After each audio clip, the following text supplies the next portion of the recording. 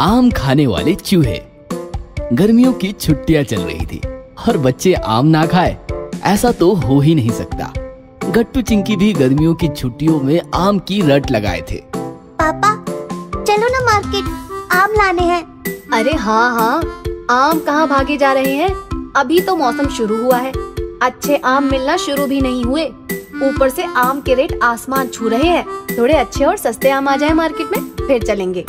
Mummy की बात सुनकर नाराज़ गट्टू चिंकी रोने लगे। एक दिन गट्टू चिंकी हरी के घर खेल रहे थे।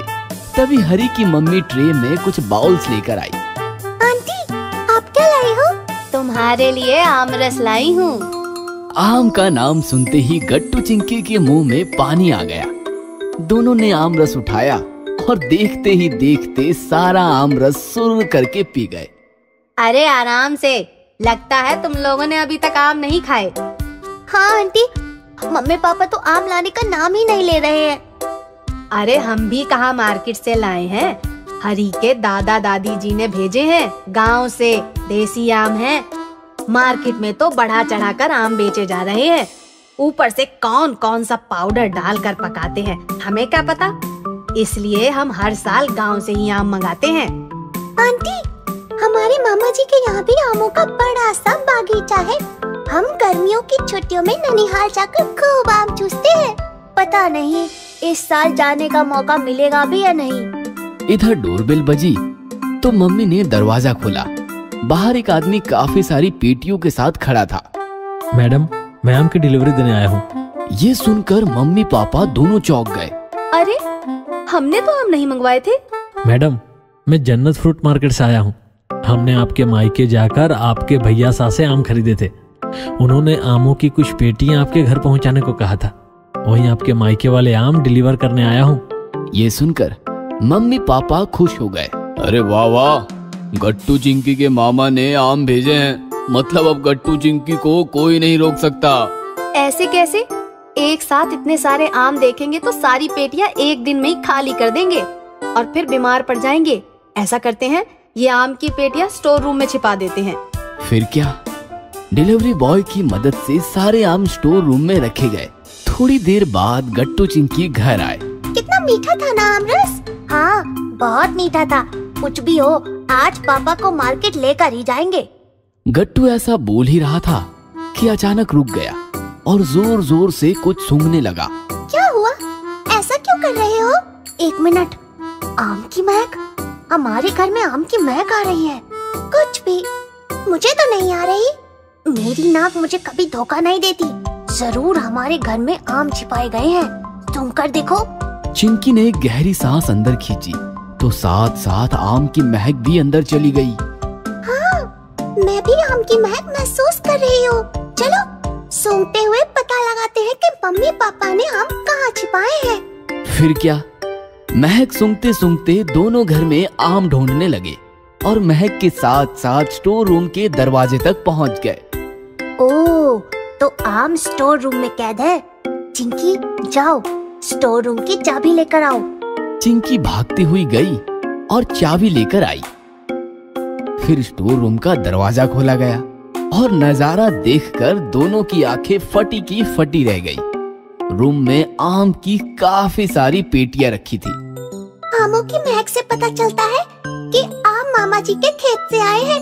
हम सारे आम चट न कर जाए इसलिए मम्मी ने आम यहाँ छिपाए हैं। शेर के मुँह को आम रस लग चुका है चिंकी।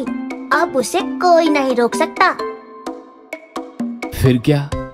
गट्टू चिंकी ने आम की एक एक पेटी खोली और देखते देखते खाली कर दी। शाम के समय मम्मी ने स्टोर रूम का दरवाज़ा खोला। अब बच्चों को दो आम काट कर खिलाती हूँ। तभी मम्मी ने देखा कि आम की दो पेटियाँ बिल्कुल खाली है। अरे ये दो पेटी आम कहाँ गायब हो गए? मम्मी भागती हुई हॉल में आई। गट्टू चिंकी सच सच बोलो तुमने आम चुरा कर खाए ना? अरे क्या हुआ? दो पेटी आम गायब है। क्या मम्मी आप? हमें थोड़ी पता है कि आम स्टोर रूम में है। और है भी तो चूहे खा गए होंगे। हमने थोड़ी खाए हैं। तभी मम्मी का ध्यान गट्टू चिंकी के कपड़ों पर पड़ा। दोनों के कपड़ों पर आम रस के दाग धब्बे थे। यह देखकर मम्मी मुस्कुराते हुए बोली हाँ आम तो चूहों ने खाए हैं और वो दो चूहे मेरे सामने खड़े हैं और वो चूहे कपड़े भी पहनते हैं। ये सुनकर गट्टू चिंकी ने एक दूसरे की तरफ़ देखा और फिर अपने अपने कपड़े नोटिस किए।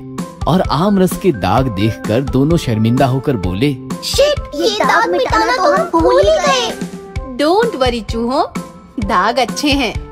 मम्मी की यह बात सुनकर पापा के साथ साथ गट्टू चिंकी भी हंसने लगे। गट्टू चिंकी का ननिहाल गर्मियों की छुट्टियाँ चल रही थी।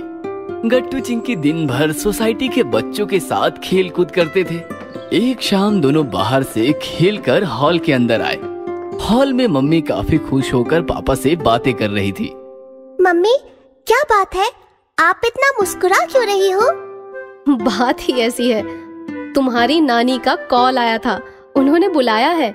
कल हम सब नाना नानी के घर जा रहे हैं। ये सुनकर तो गट्टू चिंकी की खुशी आसमान छू गई। ये चलो पैकिंग शुरू कर देते हैं। नाना नानी के गाँव जाते हैं और एंजॉय करते हैं। फिर क्या? दूसरे दिन सुबह जल्दी ट्रेन का सफ़र करते हुए, गट्टू, चिंकी, मम्मी, पापा और काफ़ी सारे सामान के साथ नाना नानी के गाँव निकल पड़े। गट्टू, चिंकी का ननिहाल काफ़ी खूबसूरत और छोटा सा गाँव था, जहाँ सब खेती बाड़ी करते थे और प्यार से रहते थे। नाना नानी का घर भी काफ़ी खूबसूरत और मज़ेदार था। गट्टू, चिंकी जैसे ही नाना नानी के घर पहुँचे तो उनके स्वागत के लिए मामा, मामी, नाना नानी और मौसा मौसी तैयार खड़े थे। सब लोग गट्टू चिंकी को अपने पास बुलाना चाहते थे। गट्टू चिंकी आ जाओ मेरे पास मैं तुम्हें इमली खिलाऊँगी। हाँ बेटा आ जाओ हम खेत जाएँगे। मौसा जी ने तुम्हारे लिए बहुत बड़ा झूला तैयार किया है। यहाँ आओ मौसा जी तुम्हें झूला झुलाएँगे। आओ बेटा हम झूला झूलेंगे। इस प्रकार सारे लोग प्यारे प्यारे गट्टू चिंकी को पास बुलाकर प्यार करना चाहते थे। लेकिन गट्टू चिंकी किसी के पास नहीं गए। वो सीधा अपने नाना नानी के पास जाकर उनसे लिपट गए। फिर मुँह हाथ धोकर, खास नाना नानी की बनाई हुई स्वादिष्ट खाना खाकर, गट्टू चिंकी ने थोड़ी देर आराम की और फिर दोनों अपने ननिहाल का मज़ा लूटने के लिए तैयार हो गए। ये लो, तुम दोनों के लिए मैंने खास इमली का पन्ना बनाया है। इसे जल्दी से पी लो, गर्मी से राहत मिलेगी। मामी जी इमली का पन्ना क्या होता है? इमली का पन्ना यानी इमली का शरबत। जैसे नींबू का या आंवले का शरबत होता है ना? ठीक वैसे ही ये इमली का शरबत होता है। इसे गर्मियों में पिया जाता है। मामी की बनाई हुई इमली का पन्ना पीकर तो गट्टू चिंकी एकदम तरोताजा हो गए। मौसी जी ने आम के पेड़ पर बड़ा सा झूला टंगाया था। गट्टू चिंकी झूले पर बैठ गए और झूला झूलते झूलते हवा में बातें करने लगे। मौसा जी ने आम की कच्ची कैरिया पेड़ से उतारी और मौसी ने मिर्च मसाला लगाकर गट्टू चिंकी के सामने रख दी। कैरिया देखकर गट्टू चिंकी के मुँह में पानी आ गया और देखते देखते उन्होंने सारी कैरिया चट कर दी।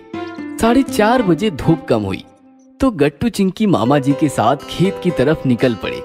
खेत काफ़ी हरा भरा और प्रसन्न था। गाय, बैल और भैंस बछड़े दोनों को टुकुर टुकुर देख रहे थे। मामा जी के साथ साथ गट्टू चिंकी ने सारे जानवरों को घास डाली और बछड़े के साथ खूब मस्ती की और सेल्फी भी निकाली। बाद में मामा जी ने गाय और भैंसों का दूध निकाला और ताज़ा ताज़ा दूध गट्टू चिंकी को पिलाया। वाह मामा जी मज़ा आ गया। शाम होते होते गट्टू चिंकी मामा जी के साथ घर चले आए और नाना जी के साथ वक्त बिताने लगे। चलो गट्टू चिंकी। मैं तुम लोगों को गाँव घुमा लाता हूँ और अपने दोस्तों से भी मिलवाता हूँ। फिर शाम के समय गट्टू चिंकी नाना जी के साथ गाँव घूमने निकल पड़े और नाना जी के दोस्तों से भी मिले। अरे राम राव ये मेरे नाती हैं शहर से आए हैं। नमस्ते। हाय कैसे हैं आप सब? इस प्रकार गट्टू चिंकी ने कुछ देर बातें की फिर गाँव के बच्चों के साथ खेल कूद की। और रात हो गई। फिर गट्टू चिंकी नाना जी के साथ रात के खाने के लिए घर लौट आए। बच्चों तुम्हारा मनपसंद खाना बनाया है। मामी और मैंने मिलकर। नानी जी मैं आपके हाथ से खाऊँगा। नानी मुझे भी खिलाओ ना। ये सुनकर नानी जी हंसने लगी। ठीक है ठीक है। मैं तुम दोनों को अपने हाथ से खिलाती हूँ। फिर क्या? गट्टू चिंकी ने नानी के हाथ से पेट भर खाना खाया। खाना खाने के बाद सब लोग सोने की तैयारी करने लगे और अचानक गट्टू चिंकी को गर्मी महसूस होने लगी। नानी जी घर के अंदर कितनी गर्मी महसूस हो रही है। पंखा भी गर्म हवा फेंक रहा है। आपके घर में एसी भी नहीं है। हमें तो एसी की आदत है। अब तो हमें रात भर नींद ही नहीं आएगी। ये सुनकर नाना नानी के साथ सब लोग हंसने लगे। यह देखकर गट्टू चिंकी और ज़्यादा कंफ्यूज हो गए। आप सब हंस क्यों रहे हो? हमने कुछ गलत कहा क्या? ना बेटा तुमने कुछ गलत नहीं कहा।